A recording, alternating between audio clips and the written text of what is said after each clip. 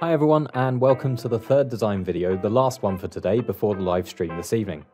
In this video, we'll be looking at how we can use Boolean logic, binary arithmetic, and 2's complement representation to build an adder-subtractor unit.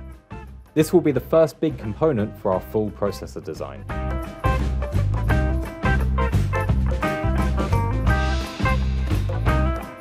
So we've seen how we can use transistors to build NOR gates, and that wires can be on or off, which we interpret as ones and zeros, or true and false, respectively. We also saw how we can interpret multiple bits as a larger number.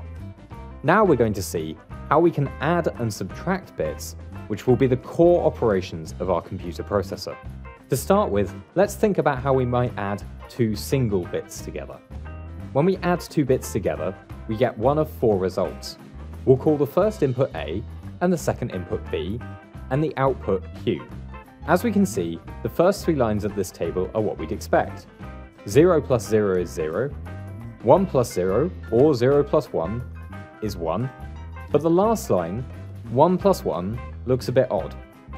1 plus 1 should be 2, but because we've only got a single output bit, we can't represent the number 2. So our calculation overflows, and we just end up with the units column from the result. In binary, the number 2 is 1, 0, so the units column is just 0. What we need is a second output column. We normally call this the carry bit, which has exactly the same meaning as when we carry digits across in decimal long arithmetic. Let's rewrite our table, this time with the carry column. Now we can see the CQ columns form a 2-bit binary number that correctly represents our binary output. We now need to translate this into circuits. We do this by looking at the logic needed for each output based on the inputs. With those independent output circuits, we can then optimize them by combining common elements. Let's start with the carry output. We see from the table that the carry should be a 1 when A and B are both 1. Right there we have our carry circuit, a simple AND gate applied to both A and B. Okay, so now we need to look at our Q output. We can see that we want our output Q to be 1 when either A or B are 1, but not both. That should sound pretty familiar. It's an XOR gate. We already know how to build one of those, so let's add one in using NOR gates and see if we can optimize anything.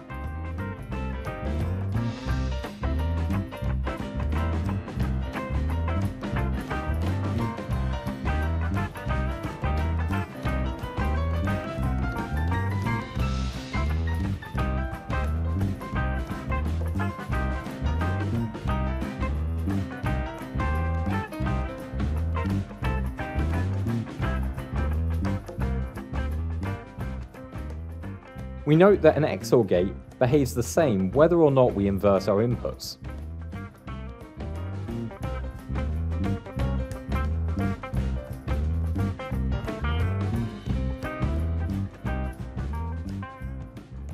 And so we can eliminate one NOR gate by combining the circuits as shown.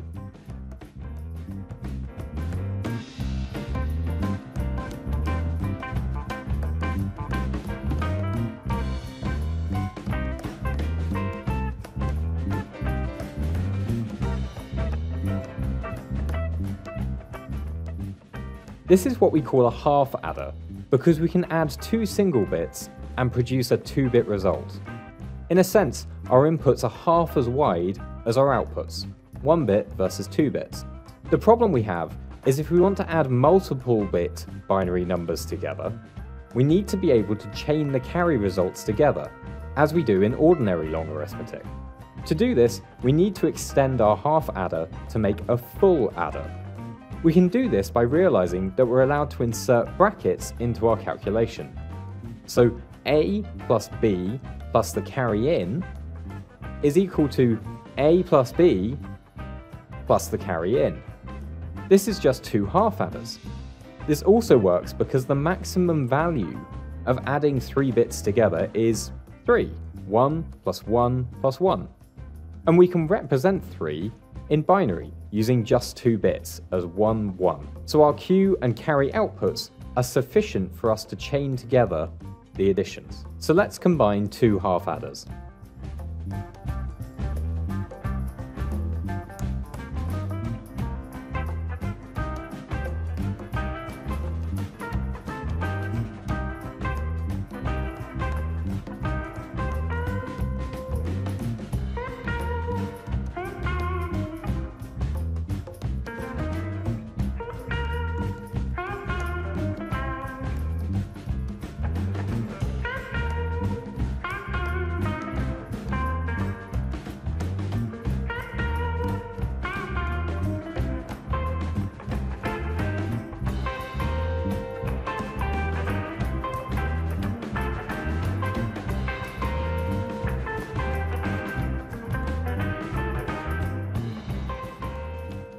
Our carry output is now the carry output of a plus b added to the carry output of q of a plus b plus the carry input. So we've now built our full adder for a single bit.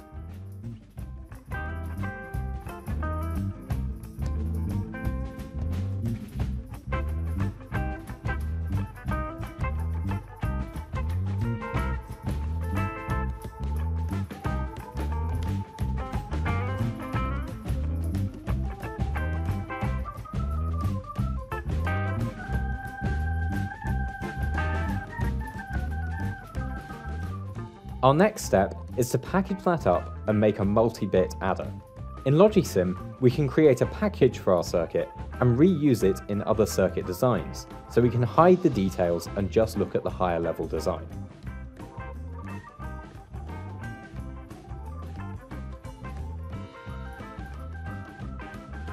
For example, we create two 8-bit inputs A and B, split them apart into individual bits, and then feed those into our single bit adders.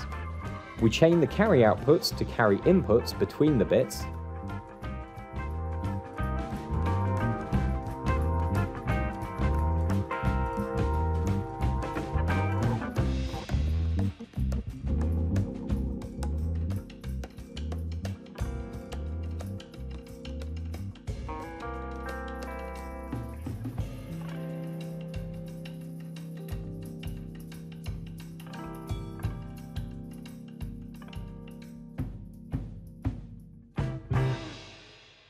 And to finish off, we create a carry input for the first carry in on the lowest bit, a carry output from the last bit, and an output bus for the result. We'll see how the carry input can be useful in a moment.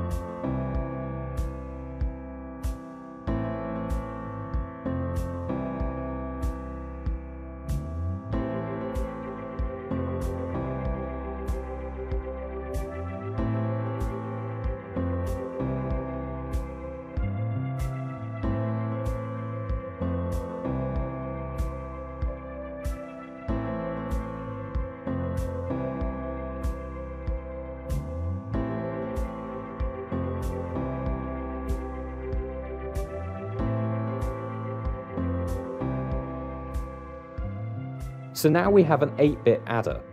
From this, we want to make an adder subtractor unit.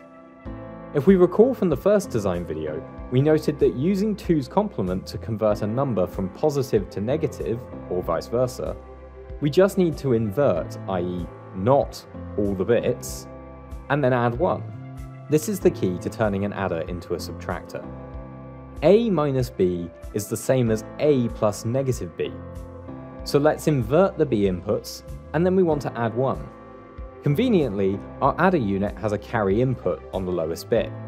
Putting a 1 on the carry input is the same as adding 1 overall. Hurrah!